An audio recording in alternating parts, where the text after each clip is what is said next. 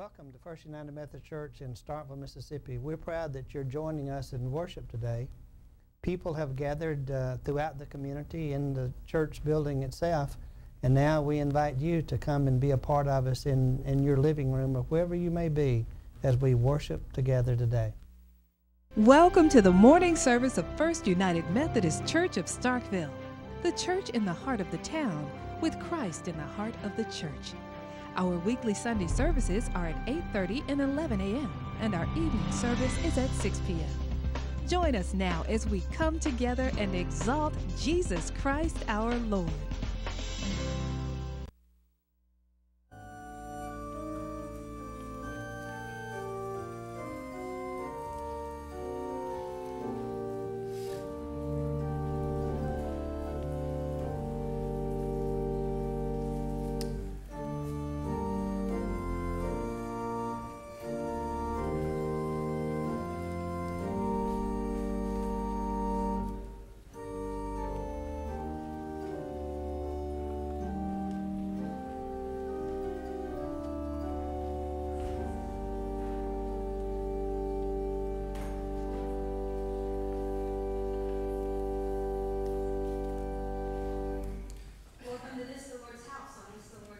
Let us rejoice and be glad in it.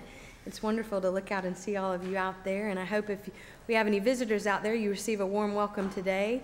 There are friendship registers located on the pews around you, so please take those out and fill them out and pass them down. And if you don't know who you're sitting next to, take a moment and introduce yourselves and get to know each other a little better. We have several important announcements today. Uh, one is tonight we do have evening worship at 6 o'clock followed by a coffee house that the youth are doing. Cindy's heading this up, and it's bound to be good, even though I understand we were scrounging for talent in the church. So please come out tonight. I'm sure it will be a fun time.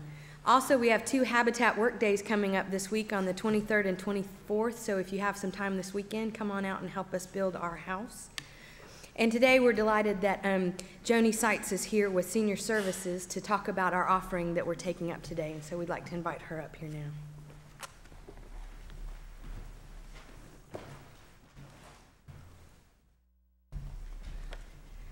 Good morning.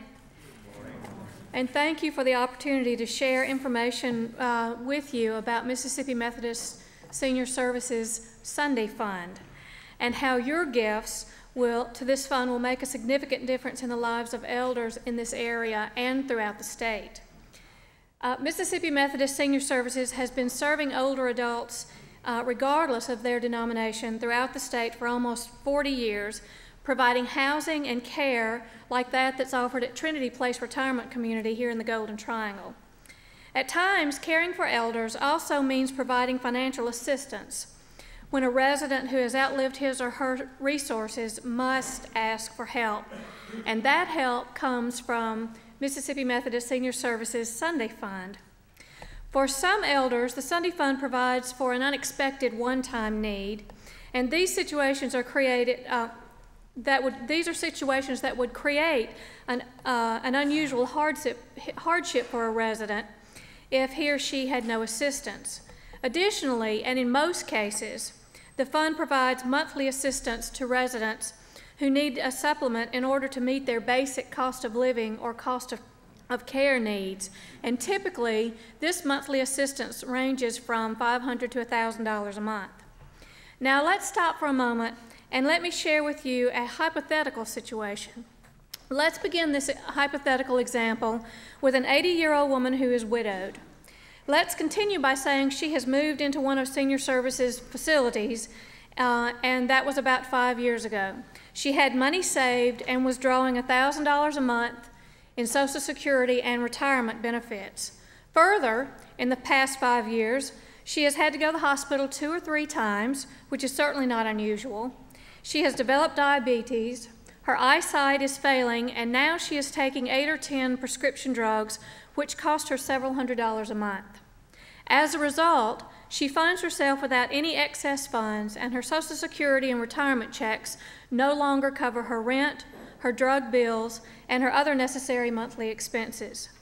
What is this precious woman going to do? She turns to us for assistance from the Sunday Fund.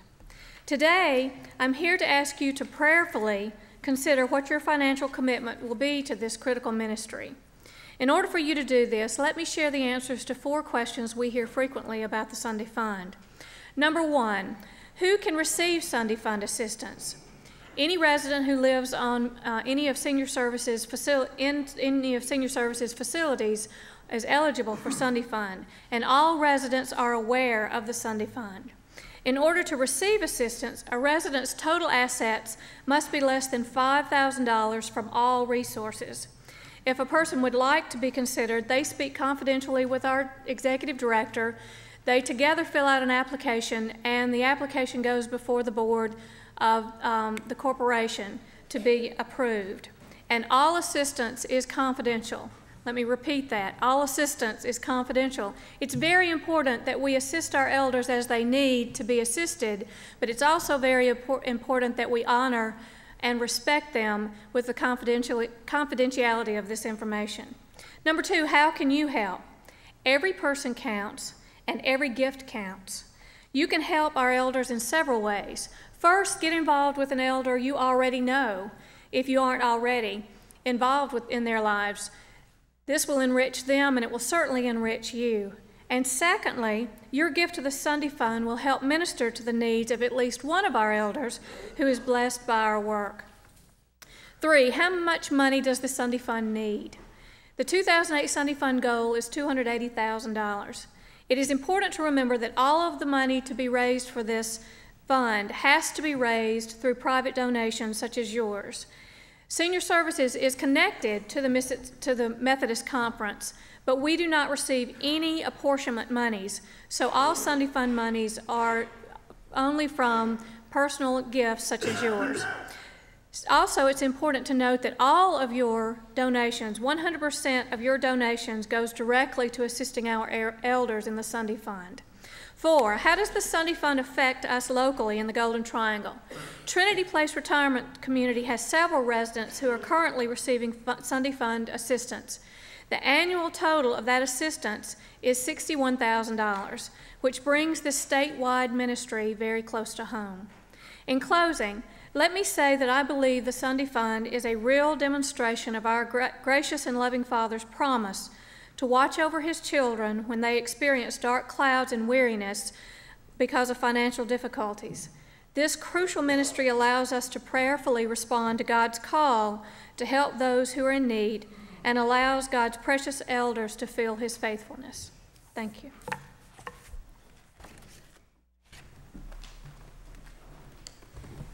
Thank you, Joni.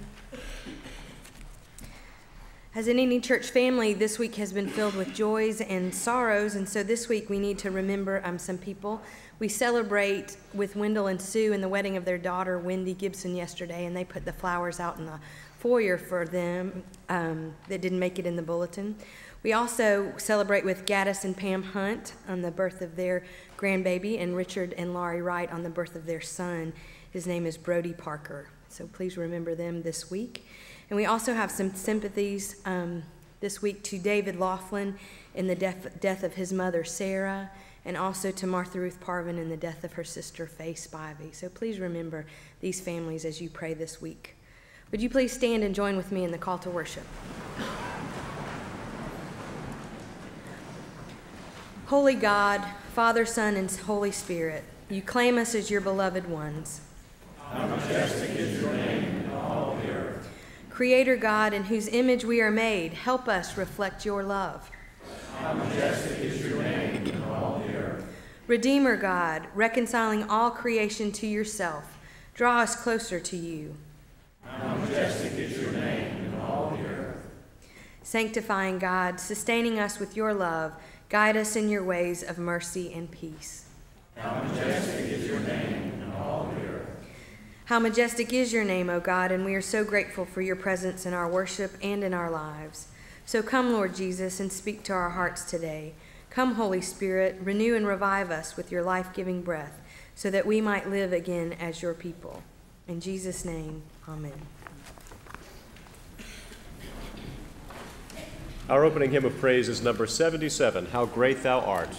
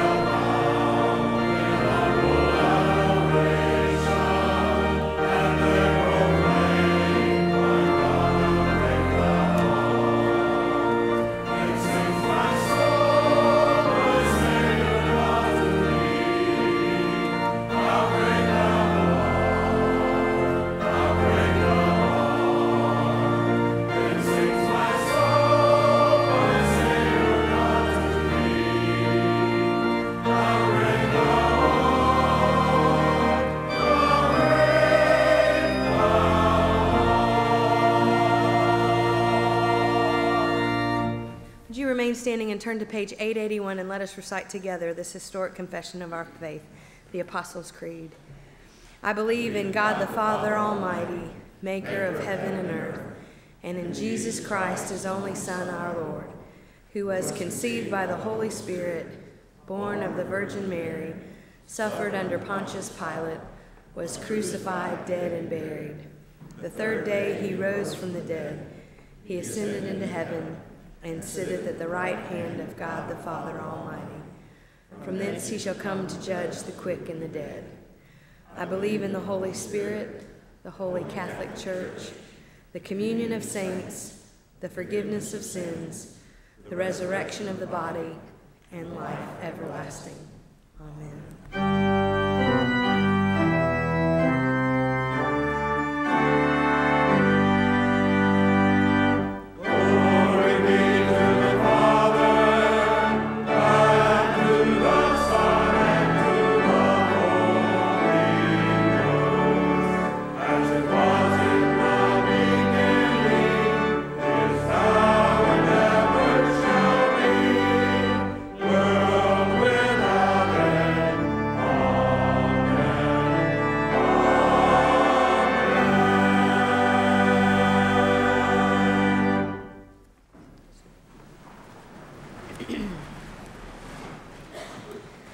Unite our hearts in prayer.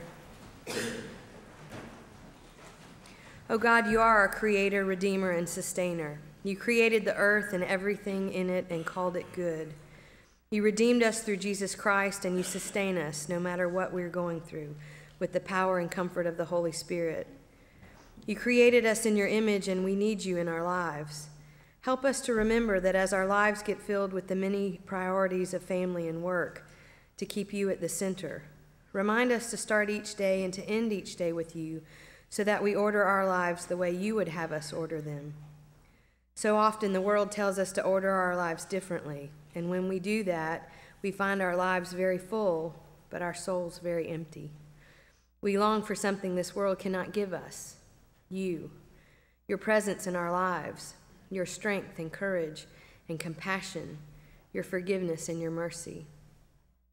Forgive us when we let the world order our lives, and pour out your mercy on us so that we might center our lives on you. Help us see the ways we might share the love of God, the grace of Christ, and the peace of the Holy Spirit in our daily lives, so that we might not only be your disciples, but might make more disciples. Today, we also lift Danny and Marilyn to you and ask that you wrap them in your traveling mercies as they travel to your holy land for both study and Sabbath and then bring them safely back home to us, renewed and refreshed from your inspiring place. And it's together as your beloved family that we offer you the prayer that Jesus taught us so long ago Our Father, who art in heaven, hallowed be thy name. Thy kingdom come, thy will be done, on earth as it is in heaven. Give us this day our daily bread, and forgive us our trespasses as we forgive those who trespass against us. And lead us not into temptation, but deliver us from evil.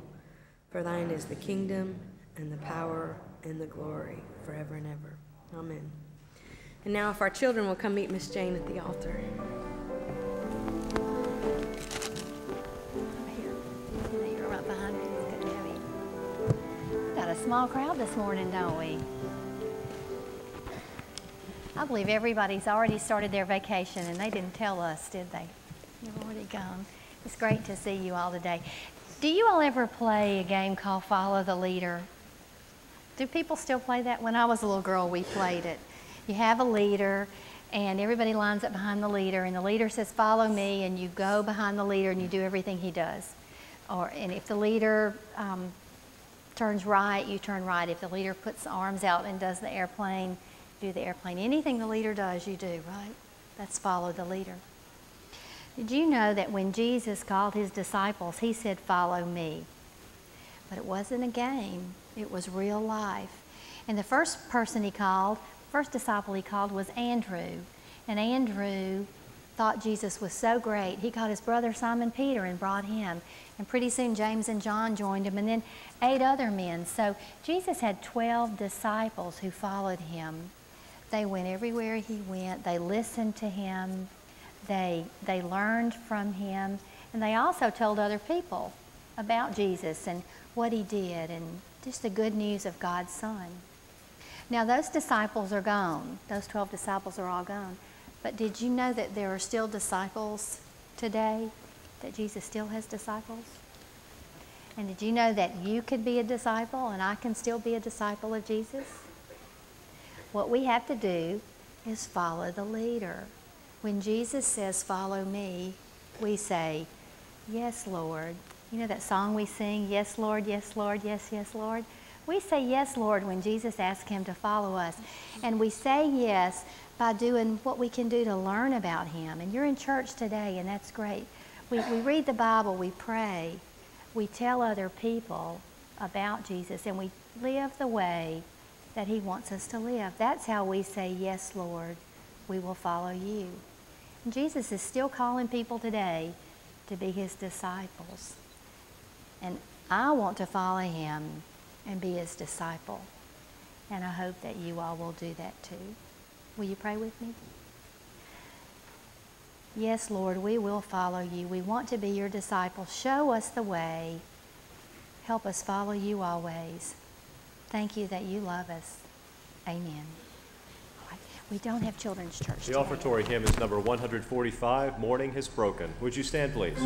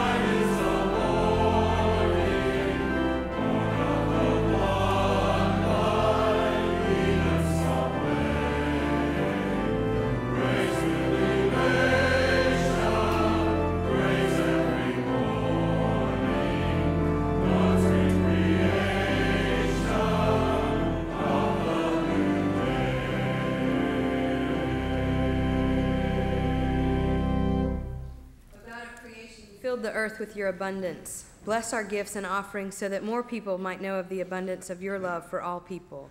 We ask this in the name of the one who gave his all. Amen.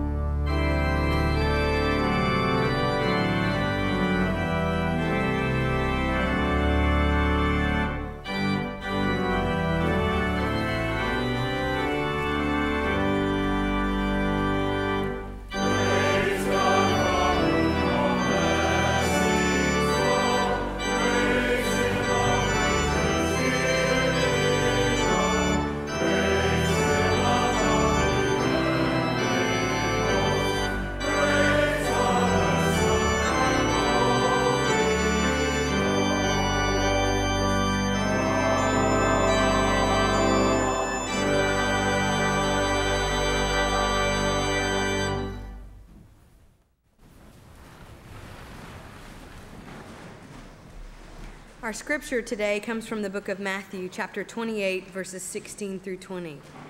Matthew 28, verses 16 through 20. Now the eleven disciples went to Galilee, to the mountain to which Jesus had directed them.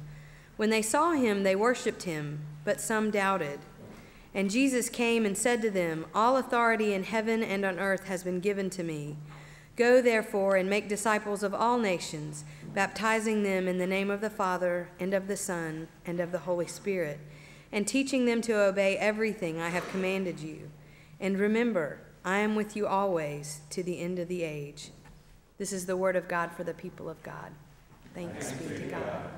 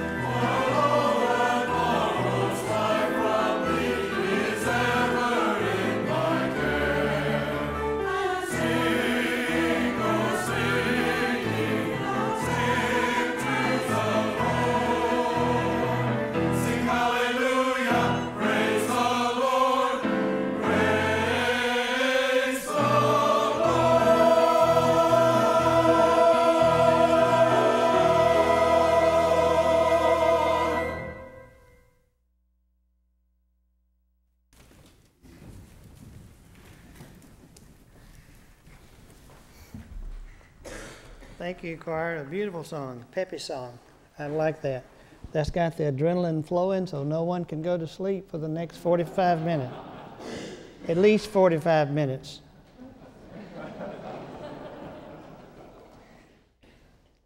Are you familiar with the name Wendy Bagwell? That's really an odd name for a man, Wendy, W E N D Y. But Wendy Bagwell is a gospel singer, a storyteller, and sometimes comedian.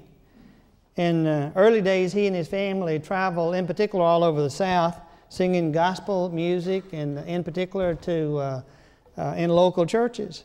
My my favorite Wendy Bagwell story is the one that he tells on himself about the time that they were invited to sing in a little bitty church in Kentucky. And when they arrived, they plugged in all their instruments and they began to sing. And it wasn't long before all the people in that little congregation were standing and shouting. And Wendy felt good about that. He thought the music must be touching the folks in this crowd, and he felt good. But then, to his surprise, they brought out five of the biggest rattlesnakes that he had ever seen, and they began passing them around. They offered him one, and as he put it, I said, Give mine to Geraldine. well, from that point on, things got worse instead of better. So Wendy thought it was time for them to leave. However, people were standing in the aisle of the church, the only aisle in the church, with snakes in their hands, so there was no way for them to get back to the door that they had entered. So Wendy turned to Geraldine and said, Where is another door? And she said, I've already looked and there ain't one. And Wendy asked, Well, reckon where they want one.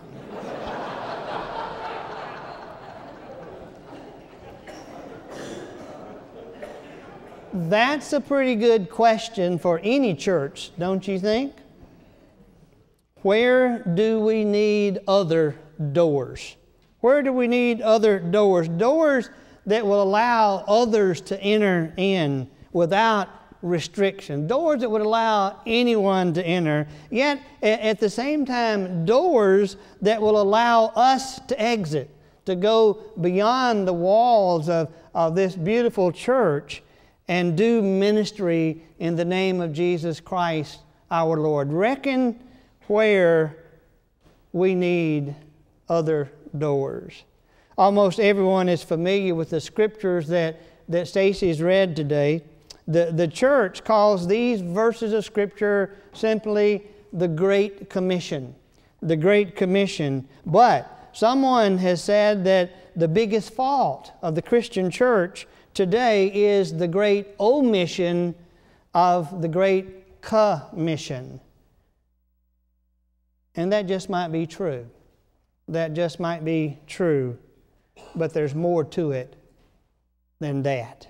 These verses are found at the, the end of the book of Matthew. And some Bible scholars would argue that, that Matthew is the only writer of the four Gospels that, that has a clear ending. The only one of the Gospels that, that seems to have a, a clear, definite ending. For some, it, it's hard to tell where Mark ends because it looks like there might be two endings and, and maybe someone has meddled with it a little bit.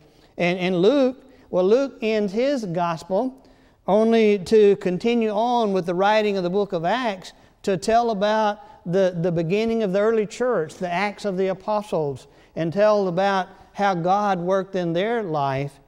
And John, well, John, he ended his gospel by saying, There are a lot of other things that happened, but I just didn't have room to write them all down.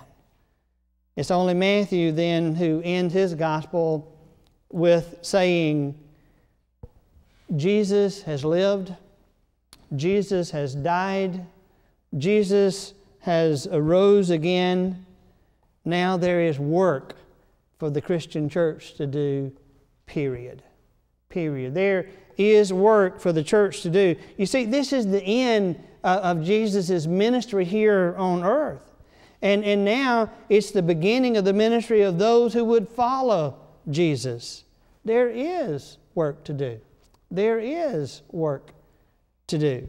Jesus had been teaching these disciples for about three years. He had, he had taught them about God, he had taught, taught them about the kingdom of God. His disciples, you see, were, well, they were like so many of us. The disciples were ordinary and common people.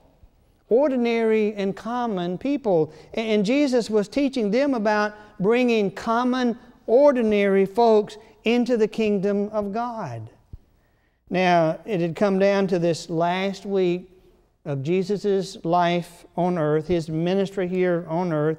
He and his disciples had gone through what you and I call Palm Sunday, and then the Last Supper, and then Good Friday, and then that miracle on Easter Sunday morning, the resurrection. And now it's down to Jesus' last words to those disciples before he ascends into heaven. So, what did he say? What did Jesus say, those last words to those disciples? What was most important to him? What did he say to them? Well, he said, Go and make disciples of all people, baptizing them in the name of the Father, the Son, and the Holy Spirit. Teach them to, to obey all the things that I have taught you, and remember, I am with you always. Always. That's what he said. That's what he said. And so, since that time, since, since that time, the church has called this the Great Commission. The church has called these words of Jesus, go and make disciples, the Great Commission, meaning that that is what each Christian is commissioned to do. In fact, that is our mandate, my friends. As Christians, that is our mandate. This is what we must do. Our program staff met this week for a day of retreat and reflection out at Burnt Oak. This is a beautiful retreat center, and I recommend it to you highly. And coming from that retreat, coming from that day of reflection, is the new mission statement for our church. It says, The mission of First United Methodist Church is to welcome, worship, witness, and grow as disciples. You'll be seeing that like it's printed right under my sermon title in the bulletin www.growasdisciples.com. In fact, I encourage you to punch that into your computer when you get home today and see what you get. See what you get. Our mission our goal, our commission, our mandate, my friends, is to make disciples. That's what Jesus was saying to his disciples, and I'm convinced that that is what Jesus is saying to each of us who strive to be disciples of Christ. He said, Go. Go. Eh, we must note that, that Jesus said this to his disciples. He said it to his disciples. He didn't say it to a bunch of folks that were hanging around the market in Jerusalem. He didn't say that to folks he didn't know that he hasn't worked with. He said that to those whom he had taught and to those with whom he had worked for three years now. So, one very important lesson for us today, something important for us to learn, is that you cannot go and make disciples until you are a disciple. You cannot go and make disciples until you are a disciple because, well, we need to learn that. Sometimes we try it, don't we? Sometimes we try to, as a church, go forth and make disciples when, when we're not really sure we're disciples ourselves. In fact, to do that, to go and make disciples without being disciples, is just about as hard as doing what that old farmer once said about trying to grow a crop without any rain. He said, That's as hard as trying to come back from somewhere you ain't never been. Try that sometimes. Try that sometimes. Before we can go and make disciples, first we must be a disciple. We must be a disciple. Be one who patterns his or her life after Christ. Be one who lives as Christ would have us to live. To be a disciple is certainly not to be perfect. It's certainly not to be perfect, even though that should be our goal. Perfection should be our goal. As good Methodists, we should always strive for perfection. But those first disciples were certainly not perfect kind of like us. You, you, do remember that, that those first disciples that Jesus handpicked, they, they weren't perfect. Don't you remember Peter getting scared and sinking into the water on the Sea of Galilee when he tried to try his hand at walking on the water to Jesus? You, you remember that? And, and what about James and John, the, the, the brothers that Jesus himself called sons of thunder because they were so boisterous? And, and you probably remember how several of the disciples were fussing over who should be first one day, and that really disappointed Jesus. No, they weren't perfect. They weren't perfect, and neither are we, but we're still to make disciples. We are still to make disciples. Making disciples and being a disciple, they have to go hand in hand. You can't be one without the other. You can't make disciples until you are one, and if you are one, you will be willing to make one.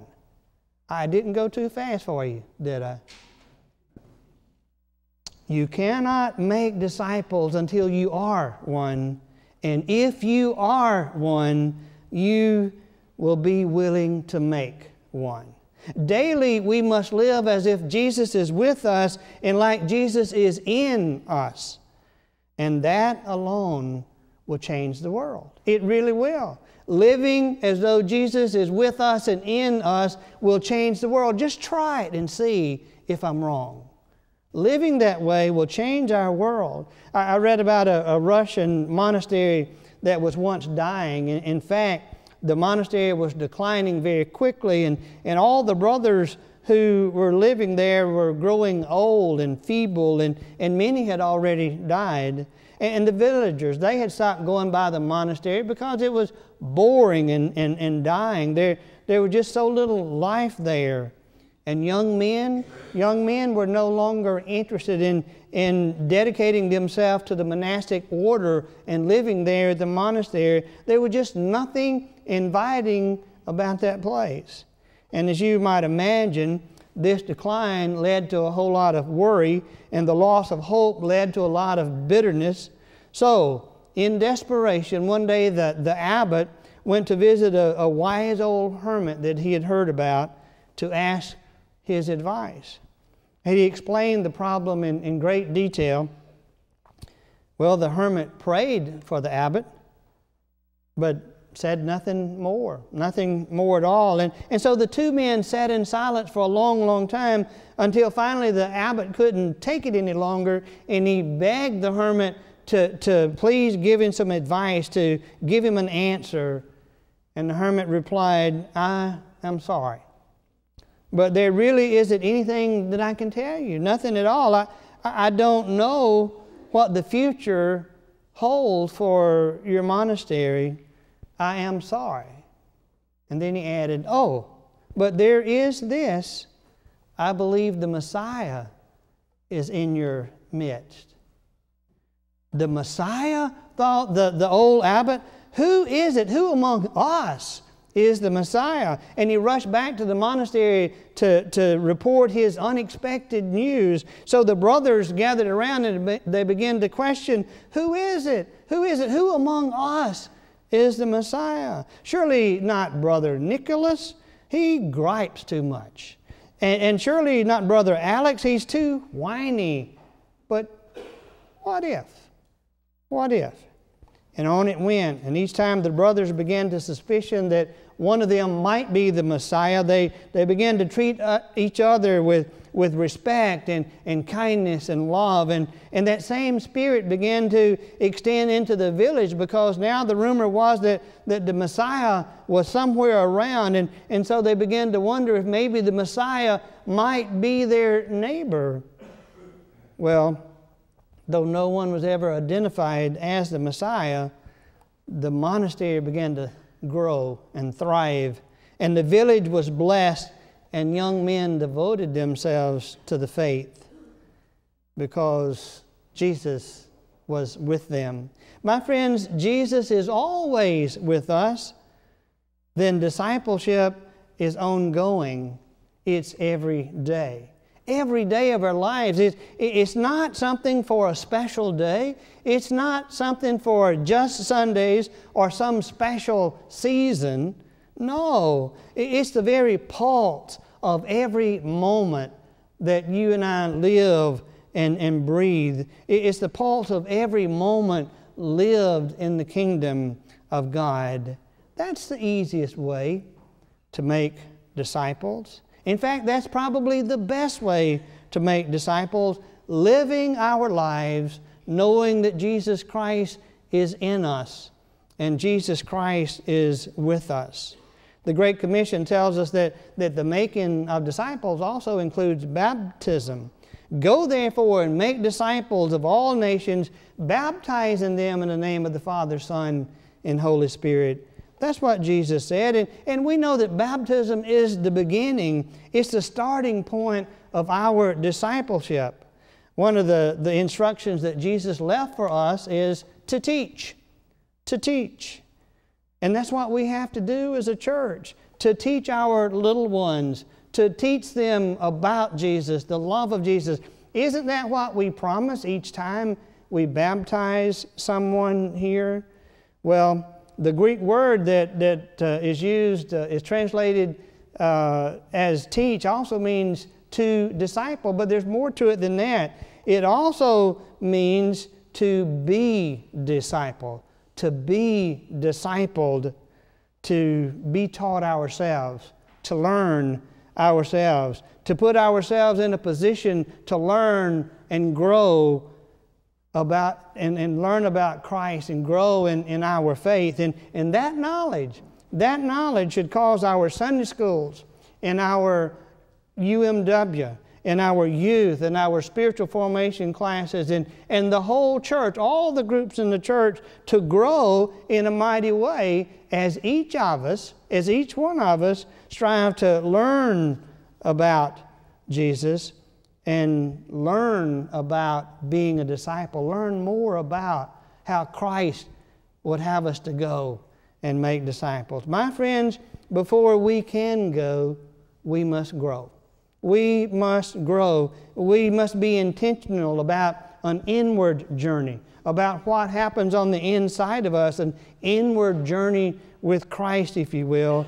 There must be time spent in reading Scripture and prayer and meditation and reflection before we can ever attempt to go out and make disciples.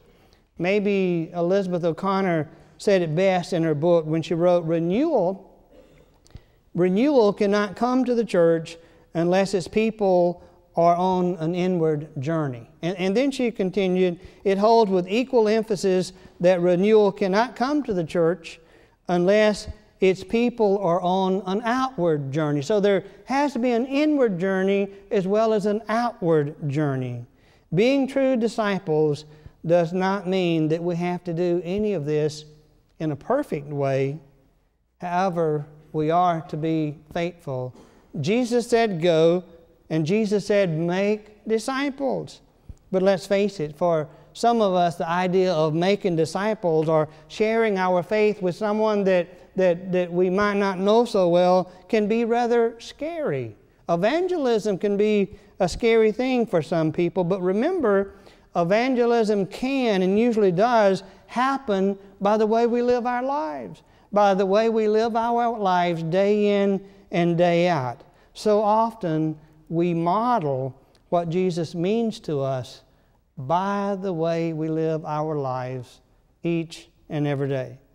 Speaking His name and sharing our faith at the right time, at the right opportunity, and, and, and going therefore and making disciples of all people to those who are not a part of the church, those who don't know Christ. All of that is part of the Great Commission. But remember, living our lives for Christ each and every day is a very strong part of that Great Commission as well. Going out and, and making disciples can be a hard thing to do, but so can being a disciple in this world in which we live today.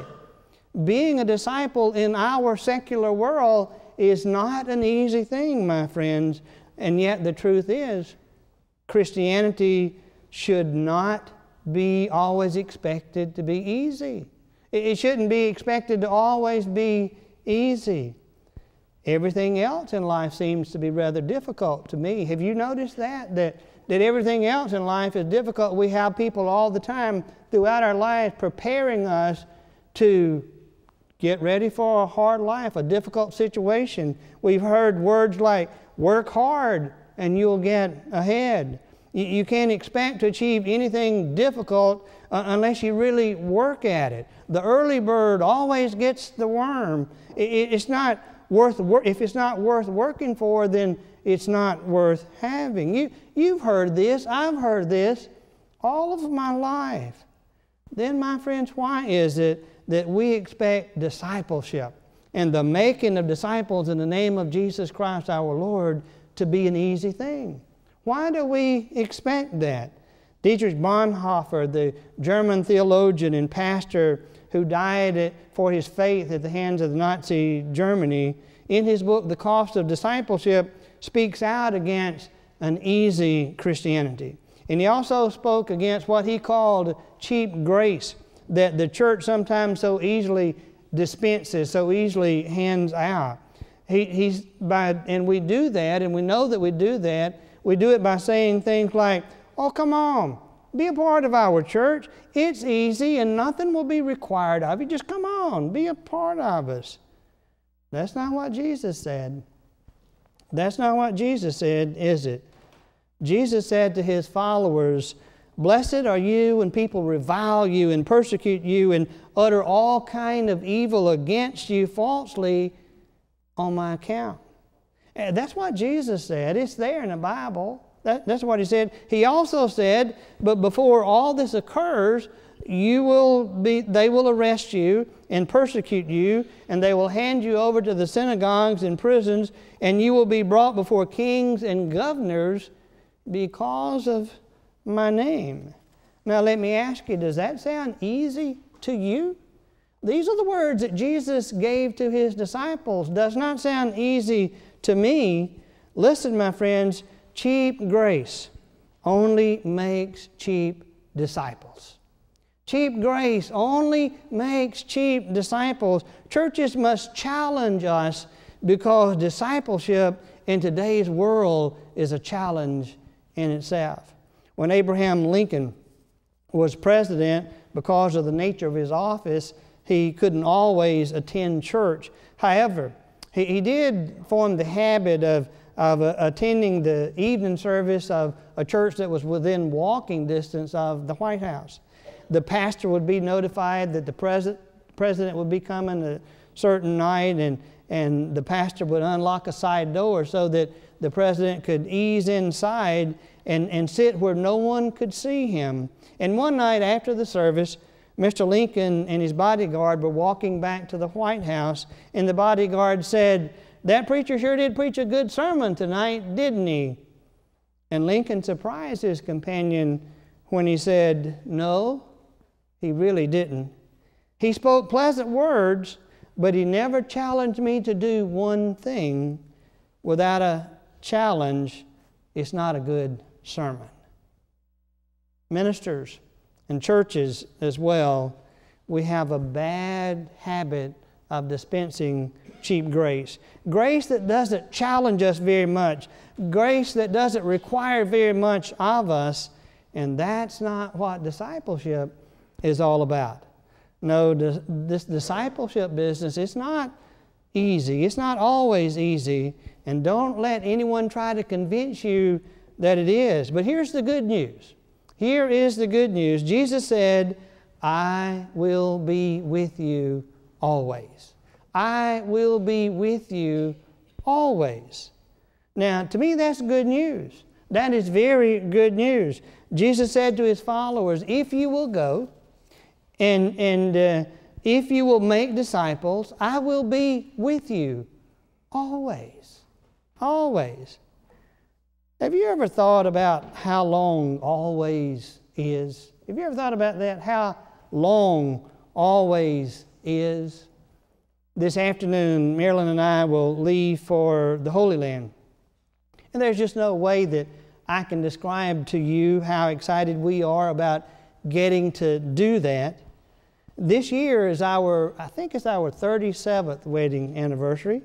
And, and so, in a sense, this could be our anniversary trip. When, when we were married, we asked a friend of ours to sing a song that at that time Johnny Mathis had made very popular. The, the song is entitled The Twelfth of Never. Marilyn doesn't, she doesn't even believe I remember that, but I do. And just listen to some of the words. You ask me how much I need you. Must I explain? I need you, oh my darling, like roses need the rain. I love you. I'll love you till the bluebells forget to bloom. I'll love you till the clover has lost its perfume. I'll love you till the poets run out of rhyme, until the twelfth of never. And that's a long, long time.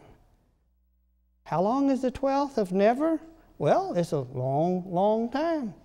It's forever. It's forever. And my friend, so is always. So is always. Jesus promises us that, that if we will move inward and be His disciples, and then go outward and make disciples in His name, then He will be with us always, forever. Wendy Bagwell's question was a good question.